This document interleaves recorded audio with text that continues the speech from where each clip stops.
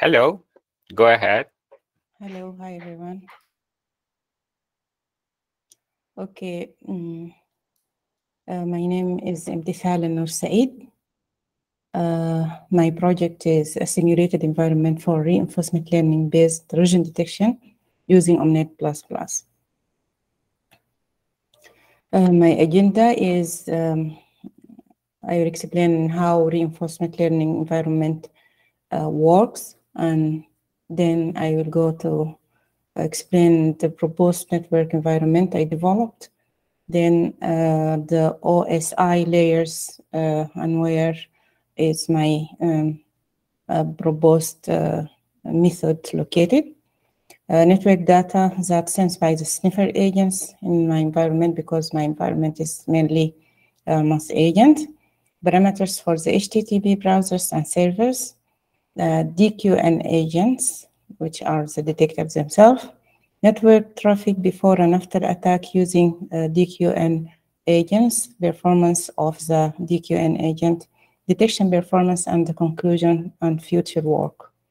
Okay, first I will start by the reinforcement learning environment. Actually, reinforcement learning environment is an interactive uh, uh, environment in which the agents, um, an agent act by uh, taking action in the environment, then receive feedback uh, and uh, other information from the environment, then evaluate the action, um, the actions um, taken, update it is knowledge, and it will repeat these these steps from one to four until it comes to uh, steady state called convergence, after which uh, no more update or no significant update will happen. And this is explanation of how the uh, reinforcement learning environment works. Here we have the environment, which is a network for my situation. Um, the agent takes the action, takes the decision, analyze the um, decision makes, and based on that, it updates its knowledge. Okay, this is um, the design of uh, the uh, uh, network I developed. I have a field of servers, consist of multiple servers connected with uh, local area networks by uh, routers. Uh, each local area network is with multiple um, host computers connected also by routers and I have uh, multiple agents located in the in the routers. All the agents are located in the routers. My detect, uh, detector agents, sensor agents, and also I have a small functionality called executor agent, also located in um, in the router. Um, uh, actually, in this project, I implemented the um, the functionalities of the toolkit, uh, uh, HTTP toolkits, toolkit of OMNeT++, uh, which has stand, which has a browser and server, and also it has HTTP server VLA and B for generating malicious uh, software, malicious traffic. Um, the network itself is consists of standard host components that contains the HTTP browser application from the HTTP uh, toolkit of OMNeT. Uh, it has server, servers themselves are a standard host with uh, HTTP server application, also from the same HTTP toolkit. Uh, I have also routers, uh, routers for um, for dro dropping and forwarding packets, also for hosting the uh, the agents. Uh, I forget to say that the HTTP uh, browsers are for generating normal traffic and the server application for responding to the requests coming from the HTTP browsers. these are the configuration of the network I developed for the links, for the uh, web protocols, for the devices, how many devices I have, uh, the server, HTTP server and HTTP browser, and also the um, HTTP server EVILA A and B. Uh, these are the configuration for the network. Okay, um, the project is mainly uh, the, the developed uh, methods uh, located in um, in the lower layers of the of the OSI uh, protocol. Uh, my the sniffer agent can see packets after encapsulation. Actually, it is located in the peer-to-peer, -peer, uh, the sorry, the point-to-point -point, protocol layer. the sniffer agent sees the packets after encapsulation. It captures relevant information from the uh, packets, determine the status of the network based on uh, the sensed information and based on three, three threshold uh, determined in advance. Uh, the sniffer agent also communicate with the corresponding detector agent located in the same router to decide whether it will start the investigation or not. And this is uh, the point-to-point -point protocol framework uh, frame, and this is captured information taken from the point-to-point -point protocol uh, frame. Uh, I have the duration. Uh, this, this is actually um, sensed by the sniffer agent. Uh, duration, source address, destination address, data links in bytes, and bit errors also. And here I have organized it in this table, uh, the features uh, specified for the, um, the, the detector agent to, uh, to embed in the um, reinforcement learning uh, engine. The same information, IP, IP addresses such as uh, IP addresses uh, source and destination, data transfer, number of requests also, duration and number of bit errors. Uh, these are the parameters uh, for the HTTP browser, which are used for generating normal uh, traffic. Um, I have the session interval, request interval, and request in session, description and values. Uh, also, I have the parameters uh, specified for the HTTP uh, server, page size, number of resources, text image resource, ratio, image resource size, text resource size. Um, these are the parameters for the HTTP server. The HTTP uh, server EVIL A, A, and B are used for um, generating uh, bad uh, traffic. And these are the parameters, mean bad um, requests and max bad requests, which are three and uh, three minimum and eight maximum for both of the servers. Uh, then I have the DQN agent, which is the detector. This is the architecture of the DQN agent, which is which contains um, a replay memory um, for for buffering the uh, some um, uh, tables used for training. Uh, the DQN agent also has two neural network, online network and target network. The online network is used for taking action and uh, the um, target uh, neural network is used for training and for updating the, um, the weights. This is the algorithm used for uh, learning. Um, these are the parameters for the DQN agent. I have the general parameters, sorry. Um, such as how many layers I have in the neural network, how many inputs, how many outputs, uh, the learning rate, and the discount. Uh, these are the parameter used for training. Uh, also, I have the um, parameters uh, for the for the DQN uh, DQN uh, generally, which are the inputs, the actions, the learning rate, the gamma, the epsilon, the mean epsilon, and the decay of the epsilon, decay rate of the epsilon. Um, these are the results I got from um, the project.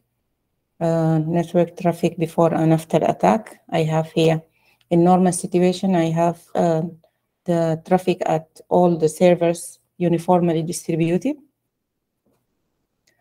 Um, the number of requests means. Uh, here I have uh, one server is under attack, which is uh, www.good.com. Uh, now under attack. as you can see that the other servers, um, the requests at the other servers are um, not uniformly distributed, and there is deviation in the request for at the server www.good.com. Um, I measured the, the performance of the uh, DQN agent, the Q value. Um, as you can see here, the plotting showing that the agent start with minimum um, value for the Q, uh, then increased uh, the value of the Q is uh, increased uh, during the simulation. Um, uh, but from from the um, plotting, I can say that no convergence still, but I think the agent is going to stabilize if the number of of of steps uh, or the simulation time is more than um, than the simulation time uh, I got uh, a result from. The Q value actually is um, the quality of the actions the, the, the agent takes. And um, the simulation time is uh, like um, showing the the duration the duration and this uh, while this um, uh, as the time elapses or time go, going as the agent uh, is um, uh, gaining uh, uh, more accurate results. Um, here I have the loss value. Also during the 20, uh, 250 steps or two, two, uh, 250 um, uh, in simulation time. Uh, here I have the epsilon decay and also the epsilon decay show, shows that uh, the agent stopped um, exploring after step uh, 22, uh, 22 or 21. After that, the agent start using its own um, uh, knowledge or the knowledge what uh, it it gained during the last uh, steps. No more exploration means. then I measured the the detection performance uh, I have total uh, uh, 5,651 cases. the true positive was 624 um, true negative 682 uh, false positive 2,301 uh, false negative uh, 3,350 and I got very small accuracy and precision, uh, only 90 percent, um, 90% accuracy and 21 precision uh, from this experiment. Uh, conclusion, I have developed a simulated environment for reinforcement learning um, inter based intrusion detection using simulation. Um, in this uh, environment, the network uh, performance uh, has been measured and also the reinforcement learning algorithm has been evaluated. the performance of the detection also um, measured. And for future work, um, other reinforcement learning algorithm can be tested using the same uh, framework. And uh, also um, cooperative reinforcement learning algorithm can be uh, tested and evaluated using this uh, simulated environment. Uh, here, um, thank you for your attention. here we have, um, this is the reference for the HTTP toolkit I used in developing my environment. Thank you, and if there are any uh, questions, I'm ready to answer.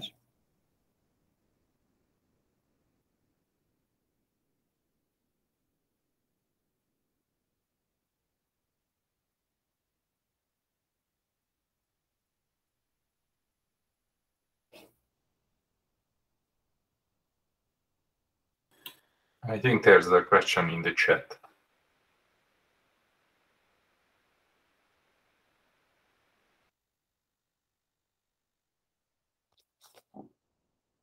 Okay, what attack type uh, you consider in your work?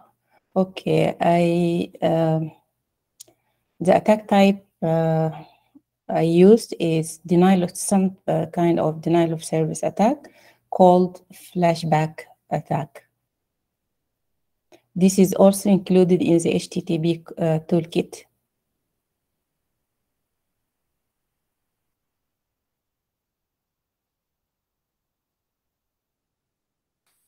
Yeah, go ahead, Nicholas.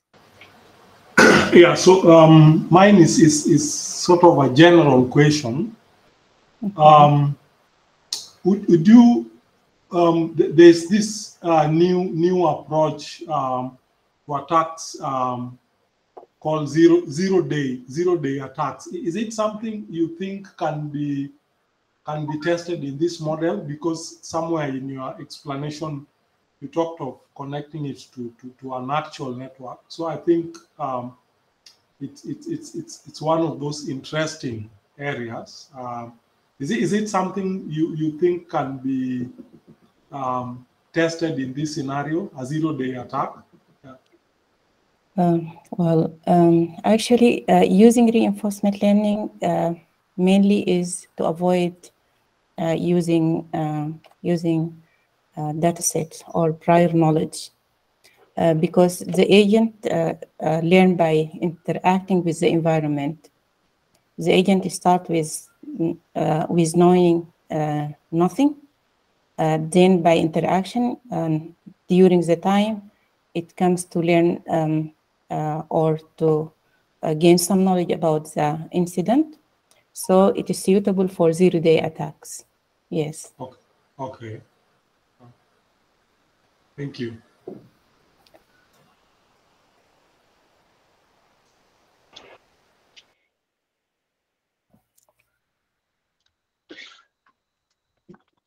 Um, just a quick question uh, from me. Hi, this is Gabor speaking. Um, I'm wondering, since you uh, mentioned that the agent learns um, that there is something wrong, um, did you have any data on how long this takes in real time? So how how much it would take for it to recognize uh, that somebody's messing with the network? Um, from the experiment I uh, I conducted, uh, the agent uh, uh, did not uh, reach to the convergence, but uh, until the end of the simulation at step uh, at time, um, I mean um, step number two, uh, uh, 250, uh, the agent the agent has come to to roughly um, a steady state, uh, but convergence is still not happen in this uh, in this uh, uh, in this experiment. Uh, this is for individual agent, but uh, actually this project is or this experiment is part of uh, my uh, big project, which is cooperative. Using a single agent, as you can see, uh, steady state uh, hasn't uh, uh, ha- happened. Uh, but in cooperative agent, um, convergence happen. The agent uh, comes to steady state after after less than 250 uh, steps. This, I think, it uh, because uh, simulation time was a complete day, uh, uh, but uh, I think uh, I think the time is is very long to for the agent to learn, but maybe other type other proposed solution may reduce the number of steps for the agent to learn because uh, 200 I think is too much time to take for the agent to learn the exact uh, uh, action. So, um, 250 steps approximately, that would be like for the whole day, right? Yeah, for the whole day. Mm-hmm.